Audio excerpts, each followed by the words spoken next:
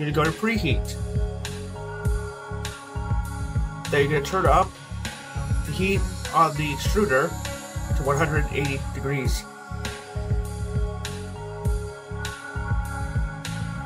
Now your extruder is at 180, you're ready to remove the filament.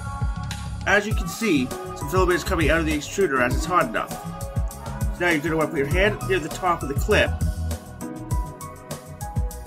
You're going to pull back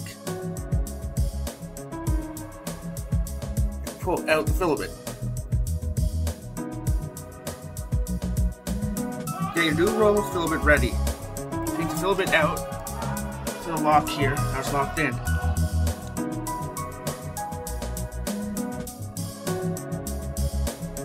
As you can see, the filament had some kinks in it. You're going to want to cut off below these kinks because if you try to load it with those kinks still in the filament, it's going to clog your extruder more than likely.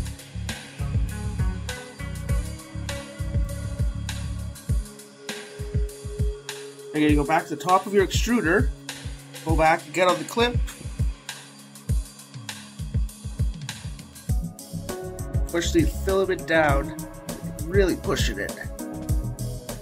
Well, you can see that the filament's coming out the bottom now as I push.